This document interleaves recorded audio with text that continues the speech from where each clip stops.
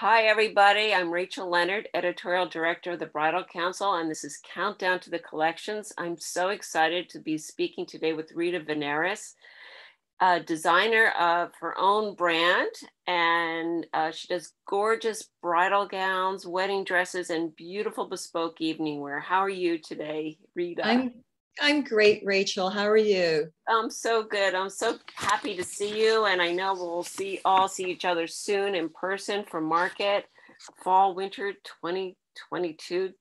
Oh my goodness, fabulous! I know. um, I can't believe you've been in business since 1995. Oh my gosh, and I've known you that long. We go way back. It's incredible.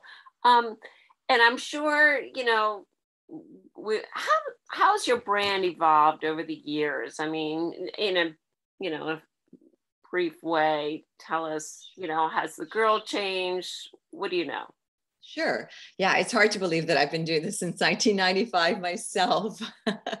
um, you know, the way that, you know, the brand has evolved over the years has been a natural evolution in the same way that, you know, there's been a natural evolution for fashion, society, and culture. So when you go back to like 1995, when I started, um, bridal market was a lot more conservative and traditional. Um, but having said that, back then, I still was about um, simplicity and modern silhouettes. And what I was doing was quite simple and understated. Yeah, um, you had your time.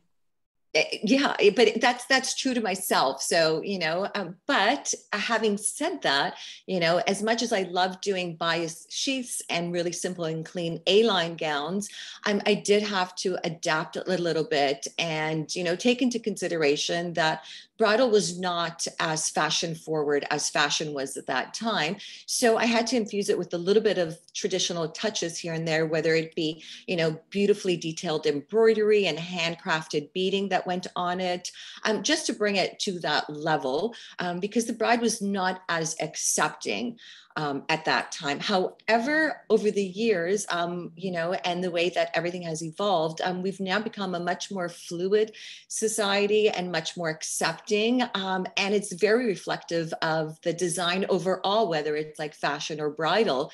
Um, and the great thing is that all of us who design are able now to sort of push the envelope of creativity and take things to another level.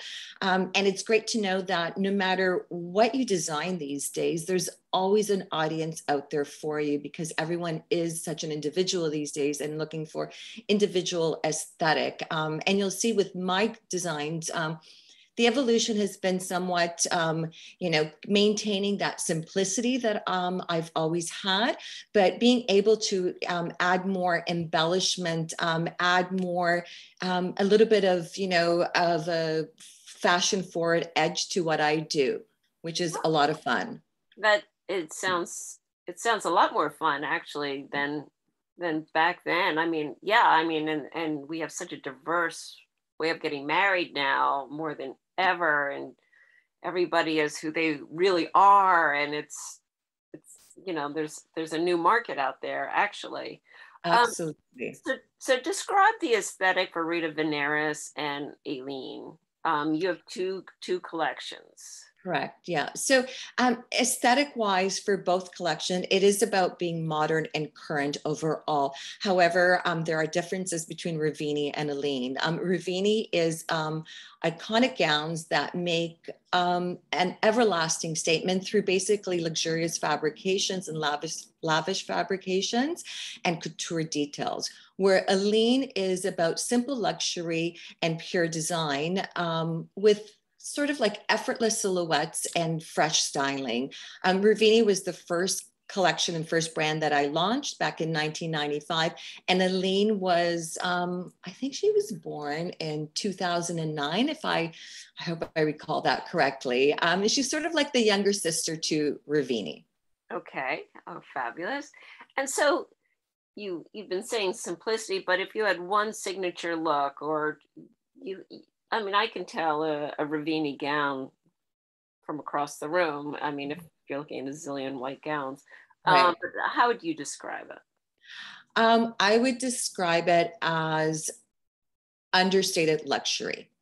It's about, you know, the perfect balance between couture details, simplicity, and grandness coming together in a very understated way. But is it like a fit and flare? Is it an architectural neckline? Is it more structured? Or that's um I right, right. In, in that sense, I would call it um effortless architecture.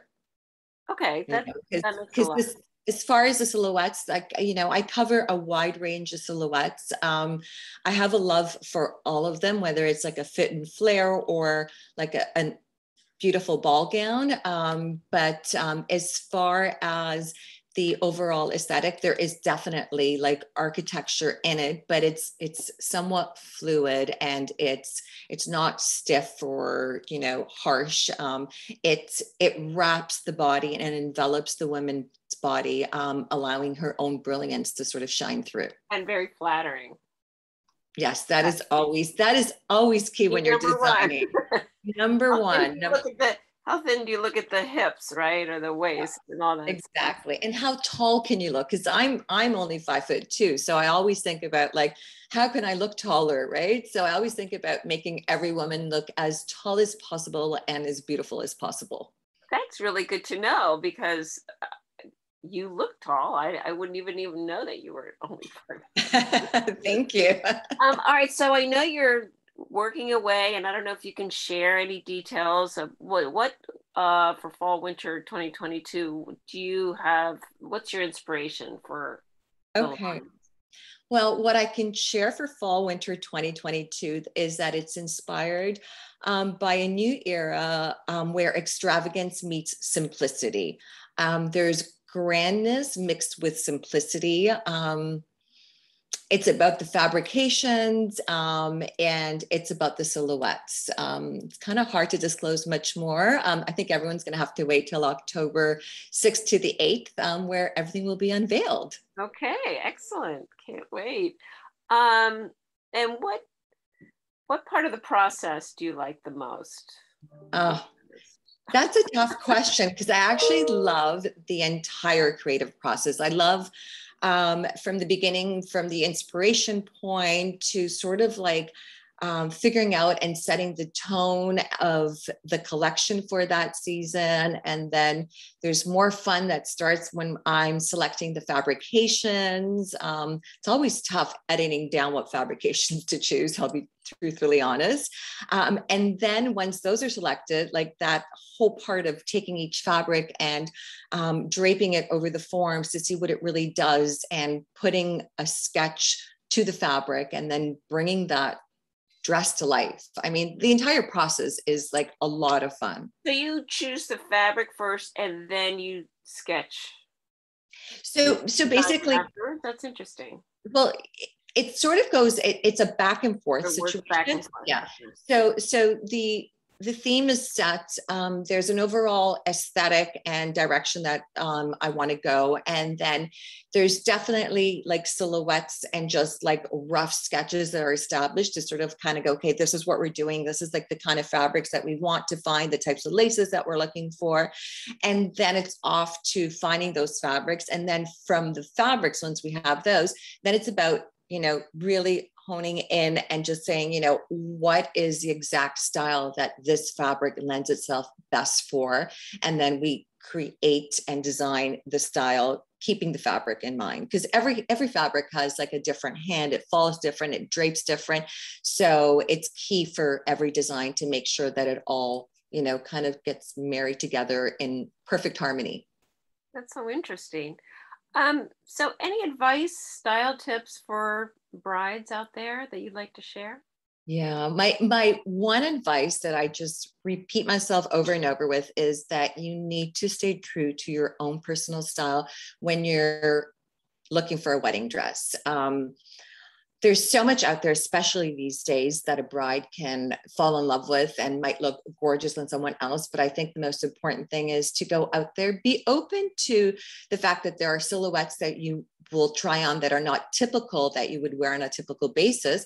But at the same time, um, just make sure that when you put that dress on, it makes you feel beautiful inside and out, and you feel like yourself because you want to, you know, when you look back at your wedding pictures 10, 15, 20, 30, however many years from now, you want to know that you felt like your best self at that point and have no regrets like oh why did i wear that wedding dress? or mm. oh why did i listen to blah blah blah who told me to? or whatever. So i think it's about just staying true to your own personal style. I think that's a great point. It's just feeling really good.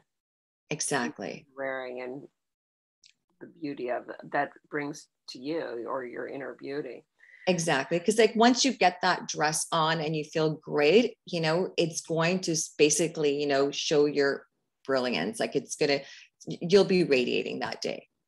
Perfect. Excellent. Thank you so much, Rita. I really enjoyed speaking with you today. And thank you, everybody, for joining us. Thank you, Rachel. Bye bye. Bye bye.